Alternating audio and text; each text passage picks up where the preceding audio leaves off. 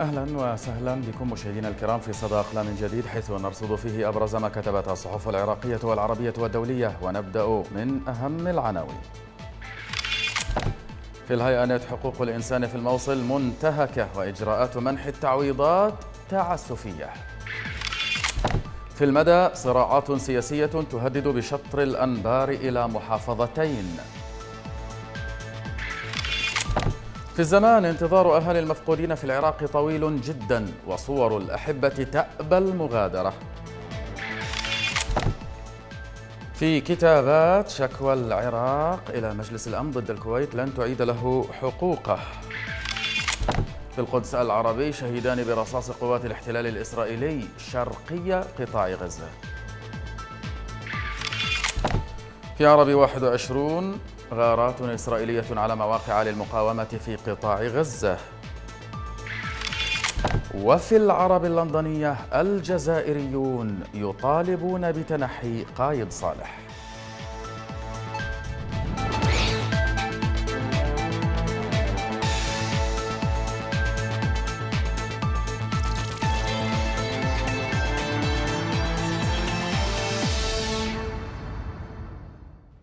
كانت هذه عناوين منتقى من عدة صحف إلكترونية ومنها ننتقل إلى ما انتقينا لكم من مقالات والبداية من مقال أو بمقال منشور في كتابات وفي مستهله. على جغرافية الوجه العراقي ومنذ 16 عاما يؤبن العراقيون موتهم في مجزرة يستورثها جلاد من آخر. الوطن كان الجريح والجريمة ترتكب باسم الدين. سقطت الأقنعة عن مقدس الفساد. تقرير فضائية الحرة كان صريحا مفصلا رصينا مهنيا لا يقبل الشك. وعلى مراجع الشيطنة أن تثبت عكسه. مقال للكاتب حسن حاتم منشور في موقع كتابات. أقانيم الفساد المقدس في العراق مؤسسات لا يجرؤ على مراقبتها أحد. تتحصن خلف عقائد الناس وتتسلح بالقباب والعمائم. كذبت المراجع وأحزابها عبر تاريخها. صدقت نفسها ووظفت شيطانية خبراتها في تسفيه عقل العراقيين وتزييف وعيهم. عوقت مخيلتهم بالمظاهر والألقاب جعلتهم يرون الدجالين أكثر علوا من الله والميليشيات الإرهابية طيور أبابيل. وتمدد المقدس ليفترس القيم الإنسانية والوطنية. اللحى والأحجار الثمينة في خواتم السماحات مقدسة. إطارات الدفع الرباعي والطائرات الخاصة ومستوطنات الفرهود وحوانيت المتعة مقدسة. سرقة الثروات الوطنية وتهريب التاريخ العراقي مقدس. يختلسون المال العام ويتشاطرون في طرق الفساد من داخل وباسم الأضرحة المقدسة. يوصون فقراء الأمة بالقناعة ويسرقون رغيف خبزهم لا يهمهم أن تكون ضحايا العوز أرملة متسولة حافية أو تبحث عن قوتها في مزابل الميسورين أو أماكن لا تليق بسمعة العراقيات. عليها فقط أن لا تنسى الحجاب. يدعون الفضيلة والمعروف والدين والمذاهب والعشائر ويعملون من الوقفين الشيعي والسني وكذلك العتبتين الحسينية والعباسية مؤسسات تجارية نفعية محشوة بفضائح الفساد المقدس. لكل مرجع أو حزب إسلامي ميليشيات دموية تؤدب المواطن إذا ما أخرجه العوز والإذلال عن طوره. ويضيف الكاتب الأحزاب الإسلامية الفاسدة الآن في العراق خرجت من ضلع المراجع الدينية شيعية كانت أو سنية يمذهبون الجهلاء والمغفلين بلا حياء وينافقون على اسم الله طفيليون يفترسون عافية المجتمع ويشربون دماء الضحايا.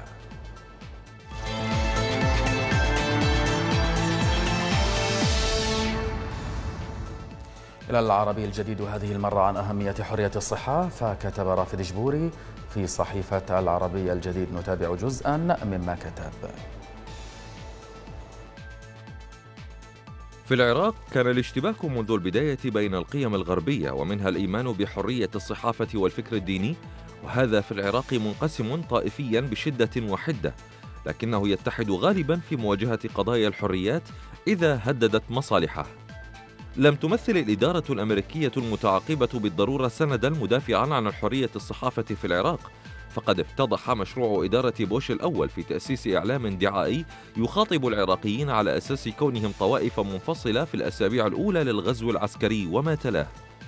أما مشروع بناء مؤسسة إعلامية تملكها الدولة لا الحكومة على غرار بي بي سي فلم يتحقق. أسست أمريكا أيضا قناة الحرة بعد أن راعها تأثير وسائل الإعلام العربية على الرأي العام العراقي والعربي. لكن القناة فشلت في إحداث التأثير المرتجى أمريكيا مثل أن الديمقراطية لا تستورد بل تبنيها الشعوب وقادتها خيارا مصيريا. فإن حرية الصحافة لابد أن تنبع من الشعب وأن يتبناها خيارا حقيقيا. وعلى الرغم من الذباب الإلكتروني والجيوش الإلكترونية والتنمر باتت الشعوب العربية تتمتع بحريات تعبير أكبر بكثير من الماضي. وباتت وسائل التواصل الاجتماعي ساحة أساسية لممارسة تلك الحريات. لكن الصحافة ما زالت تحتل أهمية كبيرة حتى على وسائل التواصل إذ أنها تملك التاريخ والمعرفة والمهنية والإمكانيات وتستطيع التأثير بصورة كبيرة. ستحظى الصحافة بدعم شعبي وحرية أكبر كلما اقتربت من الناس وقدمت خدمة مهنية لهم في كشف الحقائق وسيلتف حولها المجتمع كلما تقدمت على ذلك الطريق. يضيف رافد جبوري في مقاله المنشور على العربي الجديد نعيش اليوم عصرا جديدا دخلت فيه متغيرات جديدة. أهمها الإنترنت ومنه وسائل التواصل الاجتماعي والإعلام الرقمي أو الإعلام الجديد.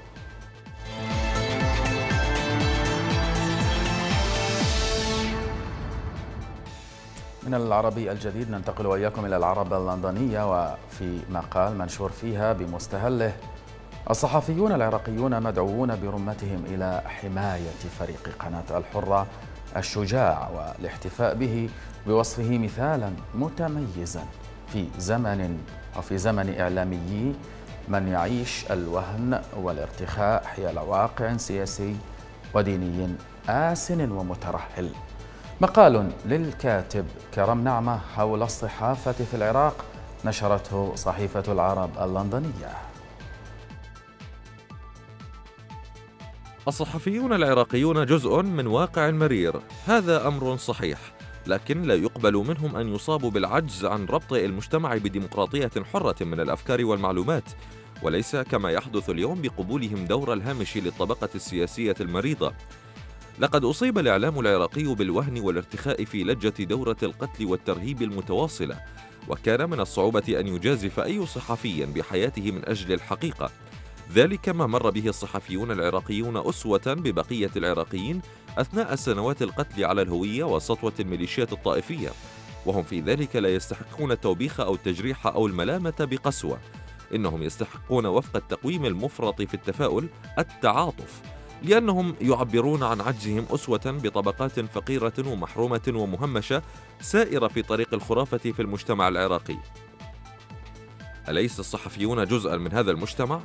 هذا يفسر لنا لماذا تستمر عملية إهانة جوهر الصحافة في العراق بجعلها مجرد صدى للميكروفونات الصارخة في المساجد والعتبات والمناسبات الدينية. وهذا يفسر لنا أيضا ماذا يعني أن يصنع فريق إعلامي عراقي برنامجا بمستوى ما عرضته قناة الحرة عن أقانيم الفساد المقدس في العراق لمجرد أنه مارس دورا مناطا به رافضا إدارة ظهره للمجتمع عندما كشف للرأي العام مؤسسات دينية لا يجرؤ على مراقبتها أحد تتحصن خلف عقائد الناس وتتسلح بالقباب والعمائم. يضيف كرم نعمة ثمة كذبة كبيرة بهيئة مزحة اسمها حرية الإعلام بصفتها بندا مضمونا في تقاليد الدولة وجزءا من ديمقراطيتها. فإذا كانت الصحافة بالعالم تعيش زمنا ليس عادلا بحقها فإنها في العراق تتحول إلى مجرد اسم هش المضمون.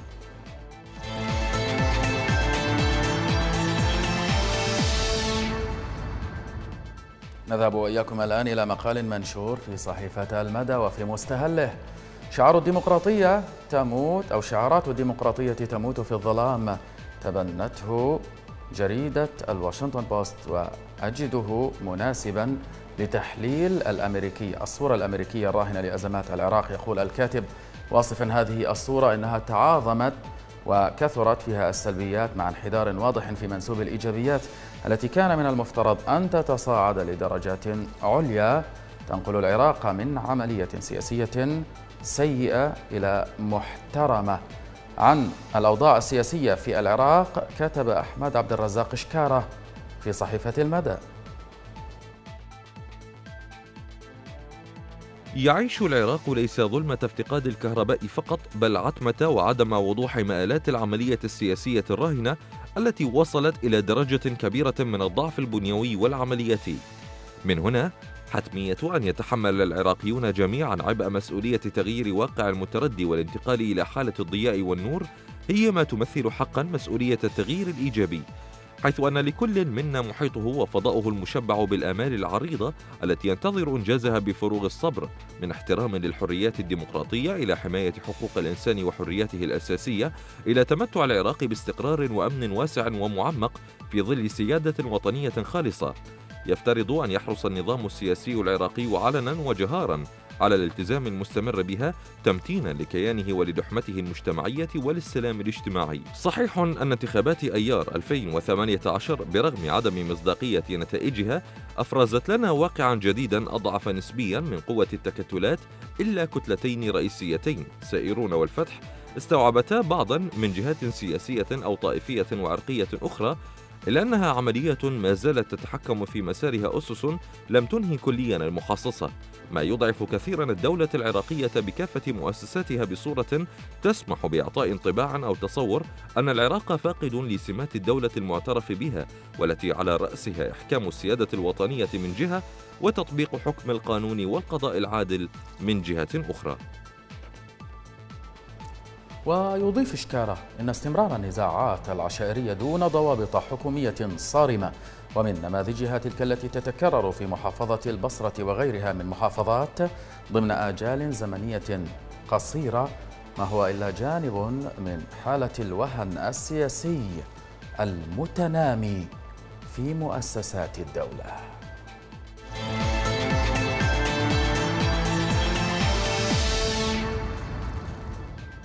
إلى عربي 21 وأخترنا لكم مقالا جاء في مستهله عن أبعاد مشكلة كشمير ومستقبلها في ضوء الصراع الهندي الباكستاني.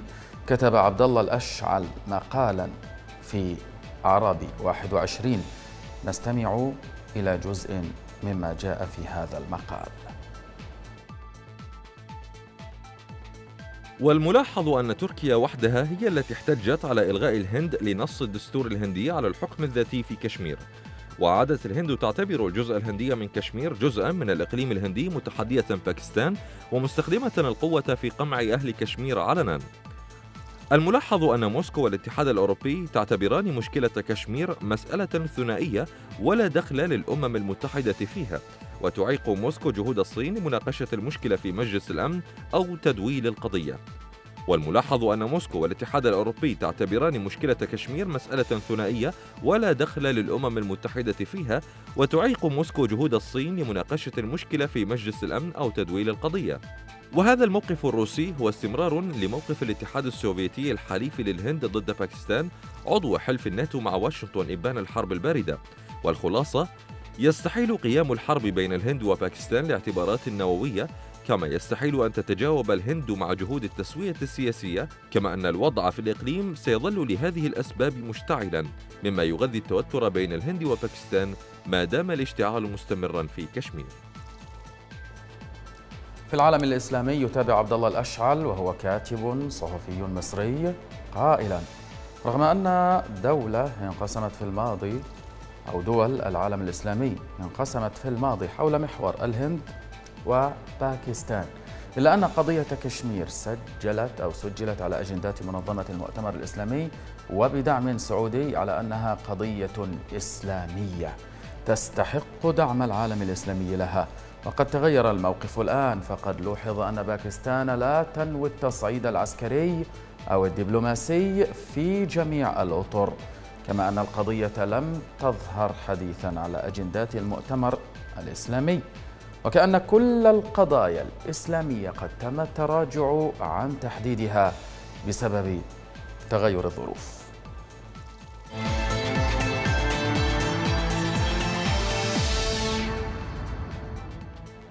وصلنا الآن إلى المقال الأخير وهو منقول أو مأخوذ من صحيفة الحياة.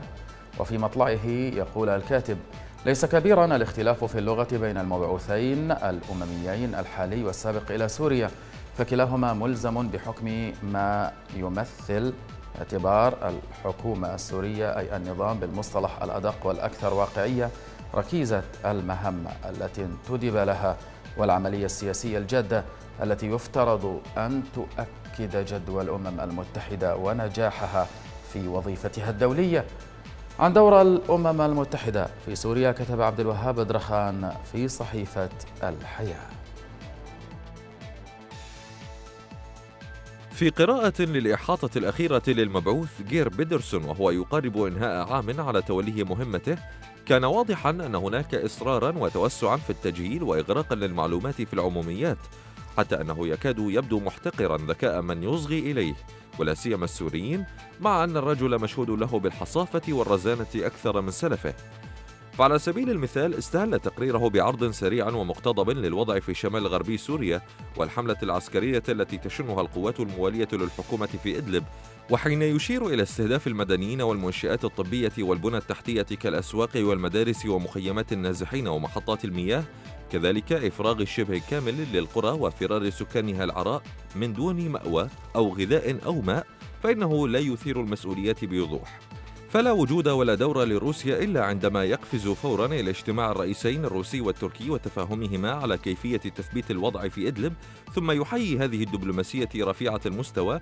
لا شيء عن العنف الأقصى للقصف الروسي وسياسة الأرض المحروقة التي تحبذها موسكو. لا شيء عن مشاركة قوات روسية أخرى لحزب الله وميليشيات إيرانية. في النهاية يعترف المبعوث الأممي بأنه لا يستطيع شيئا إذا لم تتحمل الأطراف الدولية مسؤوليتها لكن عن أي مسؤولية نتحدث؟ ويمكن توقعها فيما يتنافس اللاعبون على الخريطة السورية.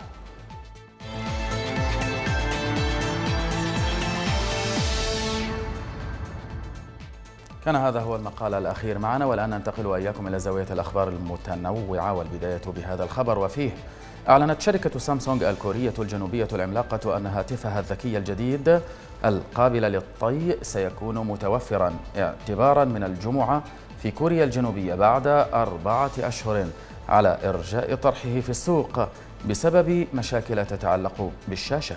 واحتاجت الشركة الأولى عالميا في مبيعات الهواتف الذكية احتاجت إلى ثماني سنوات لتطوير جالاكسي فولد إلا أنها اضطرت في نهاية نيسان أبريل إلى إرجاء طرحه في السوق بعدما أبلغت مجموعة أولى من مجربيه بتشققات في الشاشة القابلة للطي بعد أيام قليلة على بدء استخدامه. وكانت الشركة تعول كثيرا على إطلاق هذا الجهاز البالغ سعره 2000 دولار لإنعاش الطلب بعد تراجع في أرباحها بسبب تباطؤ السوق ومنافسة متزايدة من شركات صينية. وشكل تأجيل طرح الجهاز ضربة قوية للشركة التي جعلت من التميز والابتكار التكنولوجي علامتها الخاصة خصوصا أنه أتى بعد ثلاث سنوات على سحب جهاز جالاكسي نوت 7 من الأسواق بسبب مشكلة اشتعال البطاريات.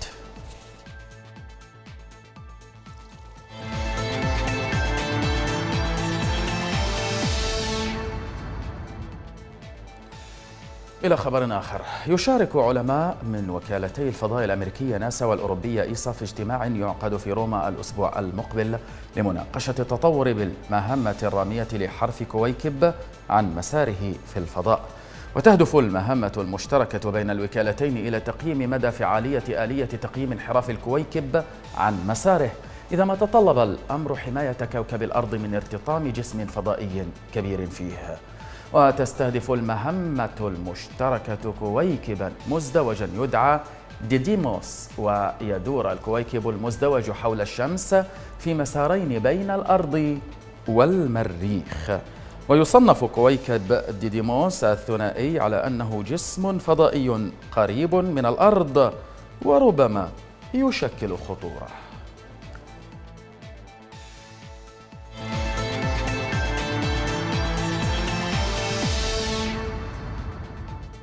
الآن نشاهد وإياكم الكاريكاتير.